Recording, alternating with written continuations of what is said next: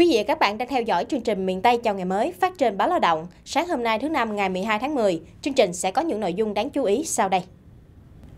Cầu Trần Quảng Na bắc qua sông Cần Thơ nối hai quận Ninh Kiều và Cái Răng với tổng vốn đầu tư hơn 791 tỷ đồng, hiện đã chính thức họp long đốt vòm chủ. Để chuẩn bị cho công đoạn này, đơn vị thi công phải làm việc liên tục từ chiều ngày 8 tháng 10 đến tối ngày 10 tháng 10 và lên các phương án tốt nhất.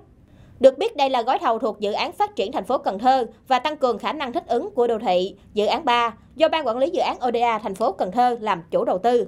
Cầu hoàn thành sẽ góp phần giúp kết nối giao thông đô thị giữa quốc lộ 1A và các tuyến đường trung tâm của thành phố, giảm tải lưu lượng xe đi qua các tuyến đường chính và giảm tình trạng ủng ứ kẹt xe vào giờ cao điểm.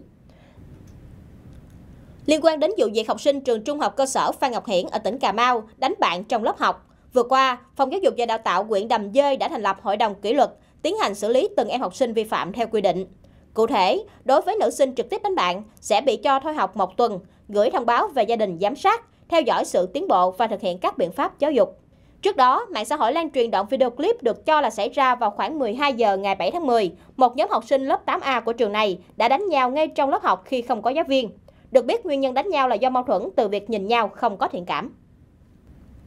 Vừa qua, cơ quan cảnh sát điều tra công an tỉnh Tiền Giang đã tống đạt quyết định khởi tố bị can và thi hành lệnh bắt tạm giam Võ Thanh Hòa, 27 tuổi, tạm trú ở xã Phước Thạnh, thành phố Mỹ Tho về tội cướp tài sản. Được biết ngày 25 tháng 9, Hòa điều khiển xe máy không có biển số đến ngân hàng có chi nhánh ở xã Trung An, thành phố Mỹ Tho, tỉnh Tiền Giang. Lúc này, đối tượng đến trước quầy giao dịch của ngân hàng rồi quăng cho nhân viên một chiếc ba lô và dùng vật có hình dạng giống súng tự chế uy hiếp nhân viên đưa tiền. Ngành giáo dục thành phố Cần Thơ hiện đang xây dựng trung tâm điều hành giáo dục thông minh đầu tiên của khu vực đồng bằng sông Cửu Long, phục vụ công tác quản lý, điều hành tất cả các hoạt động giáo dục trên toàn thành phố với nhiều ưu điểm vượt trội. Ông Trần Thanh Bình, Giám đốc Sở Giáo dục và Đào tạo thành phố Cần Thơ cho biết, tính năng của trung tâm điều hành thông minh là có thể kiểm soát, theo dõi được các hoạt động cụ thể của một cơ sở giáo dục hoặc các hoạt động giáo dục của địa phương.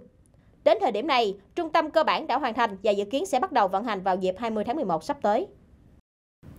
Thưa quý vị và các bạn, một trong những điểm đặc sắc mà chúng tôi ghi nhận được ở lễ hội Nguyễn Trung Trực tại tỉnh Kiên Giang trong năm nay chính là câu chuyện về món ăn chay miễn phí. Tại đây, hàng ngàn người dân tự dựng trại nấu ăn, phục vụ du khách thập phương với niềm vui và sự cởi mở. Sau đây là ghi nhận của phóng viên Nguyên Anh. Thưa vị và các bạn, hiện tại tôi đang có mặt tại một trại của bà con làm bánh bao để phục vụ cho những người dân ờ, đến tham gia lễ hội anh hùng dân tộc Nguyễn Trung Trực. Và không khí ở đây thì rất là đông và những chiếc bánh bao rất là thơm ngon này là tất cả đều được phát miễn phí.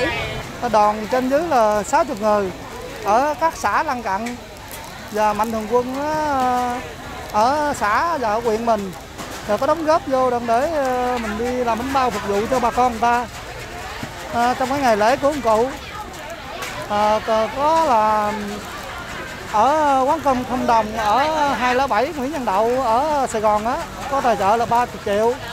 Còn bao nhiêu là anh em mạnh thường quân đóng góp. Và có bên ờ, Phú Quốc cũng có đóng góp vô nữa. Và đoàn Phú Quốc cũng để bánh canh mình thì để mình bánh bao. Và, và cái lễ hội này rất là vui à, xuống đây làm cho bà con ăn à, đông vui rất là mừng. Làm à, bữa nay nó là hai ngày rồi. Dự định ngày mai làm à, thêm mớ nữa là về. Dắt giả thì à, có nhưng mà vui là chính. Dạ, đông à, thì đông thì à, sợ mọi người mệt thôi à. Chứ à, ra bánh nhiều thì à, mình phục vụ bà con à, rất là mừng. À, thì mình làm hoài vậy đó. Thời gian nghỉ trưa thì nghỉ. Còn à, làm ra bánh thì cho cho hết thì buổi chiều thì mình nghỉ. Thông tin vừa rồi cũng đã khép lại chương trình miền Tây chào ngày mới hôm nay. Cảm ơn quý khán giả đã quan tâm theo dõi. Xin chào và hẹn gặp lại trong chương trình sau.